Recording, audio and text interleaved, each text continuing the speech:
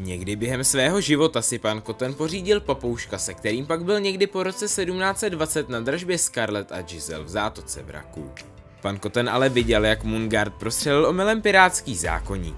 Všem přihlížejícím bylo přikázáno, aby o tom nemluvili, ale pan Koten to nedodržel a tak mu byl vyříznut jazyk. Musel si tak vytrénovat papouška, aby mluvil za něj. Jak se mu to ale povedlo, nikdo neví.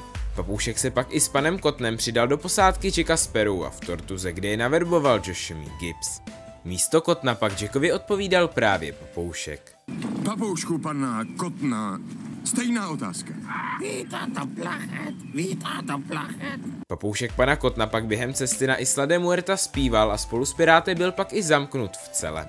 Papoušek se pak setkal i s Jackem, který se znovu stal kapitánem a s ním se i vydal na další dobrodružství. Jedním z nich byla návštěva ostrova Pelegostos, kde papoušek potkal Vila. Poté, co Perla z ostrova odplula, se s ní papoušek vydal na cestu za Tyjou Dalmou a truhlou mrtvého muže.